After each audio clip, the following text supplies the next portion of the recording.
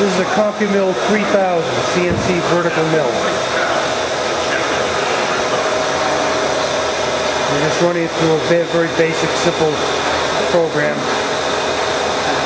without a part actually on it. Just to show its moves.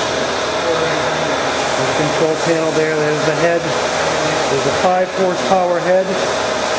Uh, runs from 70 to 4,000 RPM. Machine has a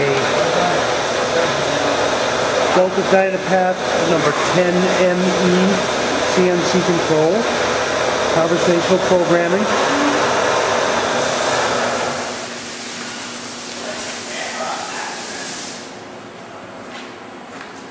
And we see there the RS-232 port. It was a very short program. The machine has come to a stop. Machine does come with an air uh, air power draw bar. It has a Cat 40 taper and um, and comes with a spindle brake that is up on the side of the head and automatic lubrication. This is a three-axis machine.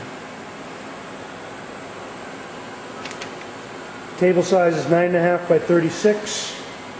X-axis travel 30 inches.